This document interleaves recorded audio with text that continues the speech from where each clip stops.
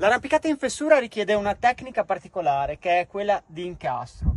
Noi possiamo anche prendere il bordo e tirarlo in dulfer, ma la cosa più economica da un punto di vista energetico da fare è incastrare le mani. Ci sono due incastri fondamentali.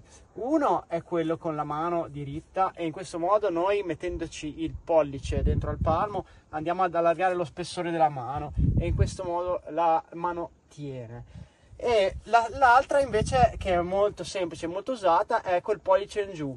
Praticamente una volta che io metto il pollice in giù e torco il gomito in questo modo, allargo lo spessore della mano e faccio in modo che la mano tenga. Ovvio che dipende moltissimo dallo spessore della vostra mano in relazione alla larghezza della fessura.